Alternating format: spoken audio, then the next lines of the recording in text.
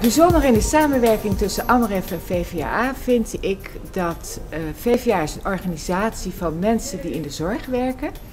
AMREF is een organisatie wat voor 97% bestaat uit Afrikanen. Uh, de samenwerking zit ook in het feit dat wij zorg kunnen verlenen en heel veel van elkaar kunnen leren. Wat we daarmee kunnen bereiken in Afrika is dat je uiteindelijk werkt aan structurele verbetering van de gezondheid in Afrika. En het gaat ons echt om het structurele.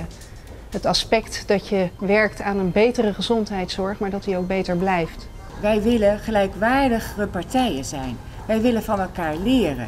En dat is eigenlijk ook het unieke van deze samenwerking omdat doordat uh, het niet alleen op helpen gebaseerd is. Het, is. het woord helpen komt eigenlijk niet voor.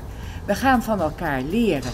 Voor ons is het heel belangrijk dat je in Nederland het verhaal vertelt. In Nederland het verhaal vertelt over de risico's die, die, uh, nou ja, die een jonge vrouw loopt voor haar gezondheid in een land als Tanzania. Voor ons is uh, preventie heel erg belangrijk.